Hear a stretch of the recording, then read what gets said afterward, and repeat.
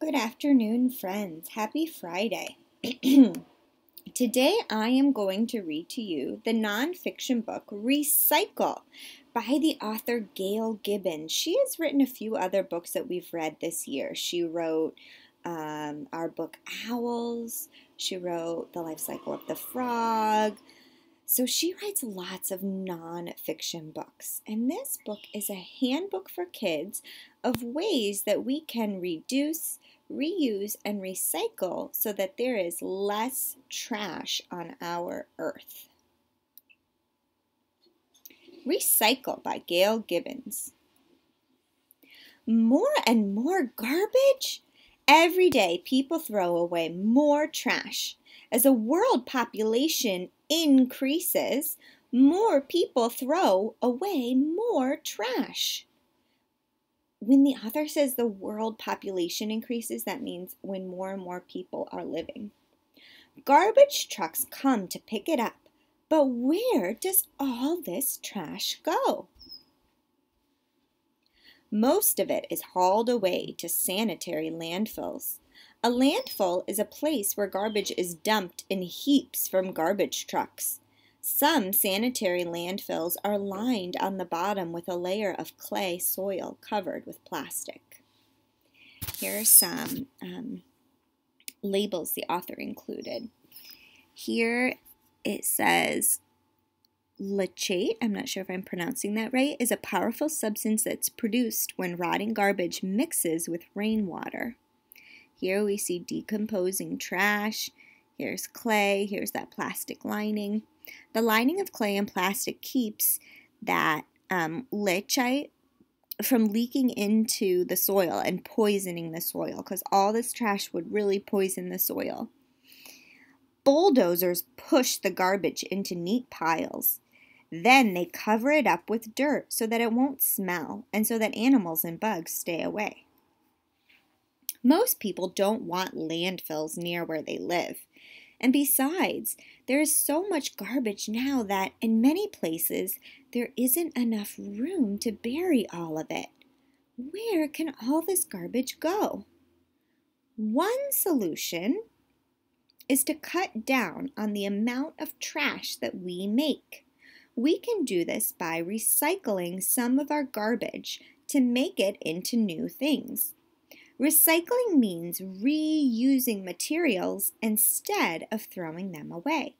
And in this picture, we can see people recycling plastic, cans, polyester, glass, and paper. So all these materials can be reused.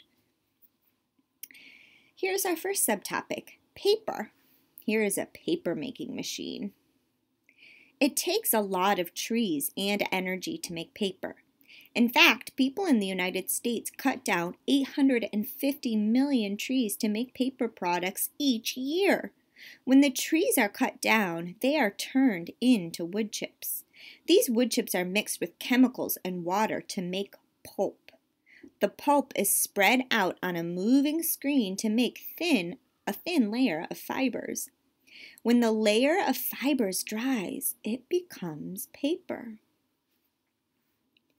Newspapers, boxes, magazines, and many other things are made from paper. When these things are through being used, they shouldn't be thrown away. Recycle them so that they can turn them into fresh paper. Collect old newspapers and tie them up into bundles. Tie up old magazines too. Break down used boxes and tie them together. Most towns and cities have recycling centers where bundles of old paper can be dropped off. In some places, trash collectors picked up, pick up the bundles of paper and take them away for recycling. Or, if your city or town has a recycling pickup service, leave the bundles at the curbside, stacked neatly or placed in special containers. Old paper can be turned back into pulp and made into new recycled paper using less energy than it takes to produce new paper from raw materials or new trees. Recycling paper saves trees and forests, which make, which make oxygen and help keep the air clean. Saving forests protects the homes of many animals too. Class, here's our second subtopic. It takes lime, soda ash, and sand called silica to make glass. These three elements are mixed together and heated at a very high temperature to make a gassy liquid. Measured amounts, sometimes dyed, are dropped into forming machines where the liquid hardens to make bottles and jars. Many products come in glass bottles or jars. Sometimes, when they are few, through being used, they're just thrown away. It would take thousands of years for them to biodegrade, so decompose at a landfill. Instead, these bottles and jars could be reused. Recycle. So, this talks about an object biodegrades when it is eaten away by the sun, the rain, and the wind, and by microorganisms, very tiny plants and animals. It takes about 3,000 years for a glass bottle or jar to biodegrade at a landfill. Instead, collect glass bottles and jars, rinse them out, and put them in a box or bag. Many bottles are returnable. A small deposit is paid when bottles are bought. When they are returned, the deposit is paid back. Most of the time, the bottles are sent back to the company that made them where they are sterilized, that means cleaned, and refilled. Sometimes the bottles are recycled into new glass. So you can separate the deposit bottles from the other ones.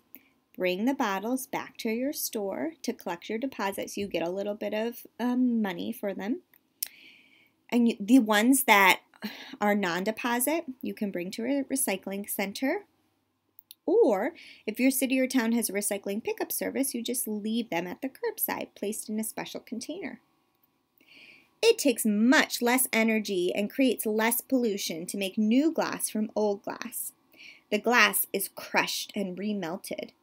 Next, recycled liquid glass is poured into forming machines and stamped into new glass products. The sand, lime, and soda ash don't have to be dug again, which would waste precious natural resources and destroy forests and fields. We don't want to do that. Okay, subtopic three, cans. Most cans are made from aluminum. It takes many energy resources and creates pollution to produce pure aluminum. First, a, minim- a mineral called bauxite is mixed with soda ash and lime. When the mixture is put under pressure, aluminum is left as a byproduct. Then the aluminum is heated and poured into molds to make cans. Many products, such as soda and foods, are sold in aluminum cans. Often, when the cans are empty, they're just thrown away. It takes 500 years for an aluminum can to biodegrade, to break up at a landfill. But these aluminum cans can be reused. Recycle!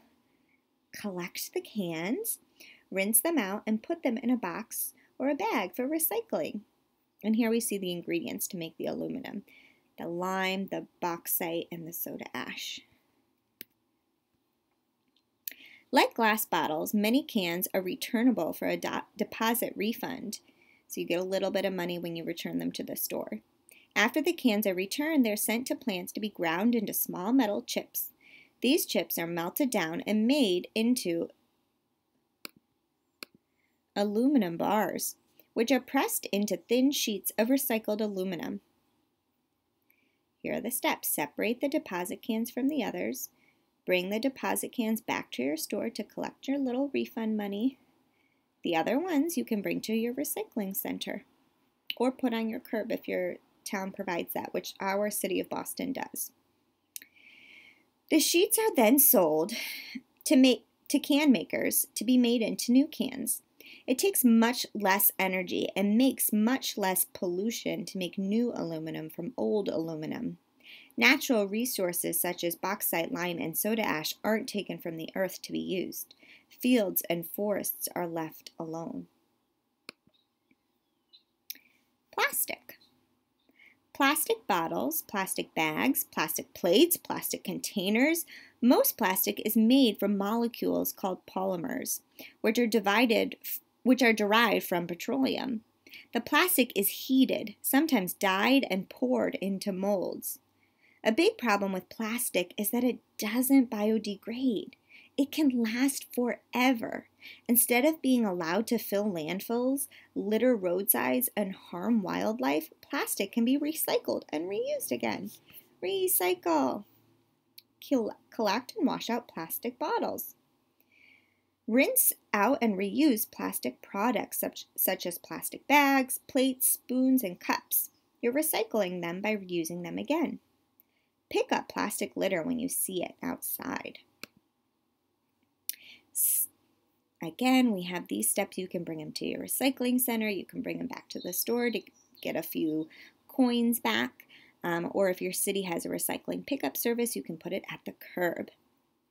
Like glass bottles and aluminum cans, some plastic bottles can be returned for a deposit refund. These bottles will be sent away to be recycled into new plastic products. First, the old plastic is cleaned. Then it is chopped up, melted down, and molded into new recycled products.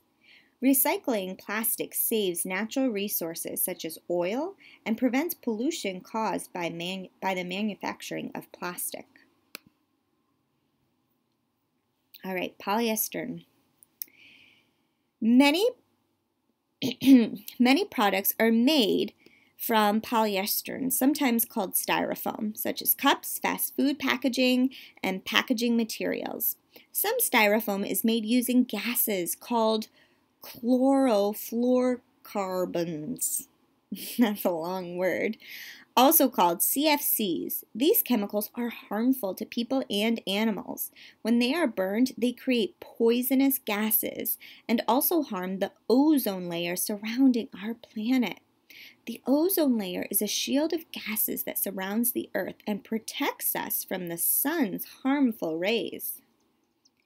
Unfortunately, it's cheaper to make new styrofoam than to recycle it and there are few useful products that can be made from recycled styrofoam. Plus, styrofoam is not biodegradable like um, plastic isn't. It can last forever. The more styrofoam that's used and thrown away, the more garbage that will sit in our landfills for years and years. So they're telling us try not to buy any styrofoam products. And if you do, try to recycle it, use it again for something. Also, styrofoam can be dangerous to sea animals. It floats on the water and it looks like food. And when sea animals try to eat it, their systems can get clogged and they can starve to death. Pick up any styrofoam litter when you see it. If more and more people learn to recycle, there will be less garbage and our planet will be safer and a healthier place to live. Recycling can become a habit that is fun and easy. Recycle. And here we can see some facts. Each person in the United States throws about four pounds, throws out about four pounds of garbage each day. That's a lot of garbage. New York City alone throws out enough garbage each day to fill the entire Empire State Building.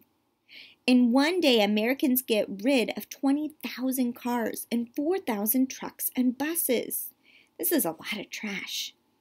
14 billion pounds of trash is dumped into the ocean each year. 43,000 tons of food is thrown out in the United States. Each hour, people in the United States use 2.5 million plastic bottles. People in the United States throw out about 270 million tires every year. All the people in the United States make enough garbage each day to fill 100,000 garbage trucks. In only one day, people in the United States toss out 15,000 tons of packaging material. It takes 90% less energy to recycle an aluminum can than to make a new one.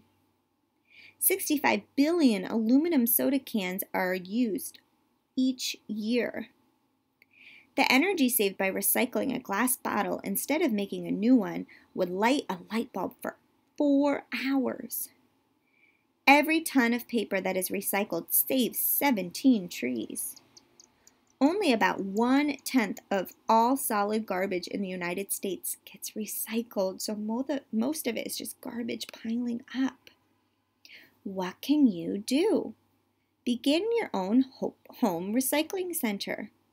Organize a group outing to a park or beach to clean up litter. Instead of using paper towels, use cloth towels, which can be washed and reused again and again. Before you toss six pack rings into the garbage can, cut all the circles with scissors so animals and birds can't get caught in them. Instead of throwing out some things that you don't want anymore, see if someone else could use them. Try having a yard sale. Keep a rag bag. Put old torn clothes in it and have a supply of rags to keep and you'll have a supply of rags to keep your house clean or for messy projects. When you go shopping, bring a cloth bag or a recycled brown paper bag instead of um, getting a new one at the store. Bring old books you don't want to your library. Maybe the library could use them, or to our classroom. Save paper. Use both sides of every sheet of recycled paper. If more of us use recycled paper, there will be a bigger demand for it. And don't forget, recycle. The end. So, readers, today what I would like you to think about is what is Gail Gibbons persuading us readers? What does she want us to do? And what are her reasons? So, I'll give you a clue. Her topic is she wants us to recycle. I want you to think about why does she want us to recycle? What are her reasons? And we'll talk about those next week. Talk to you later, friends. Have a great weekend.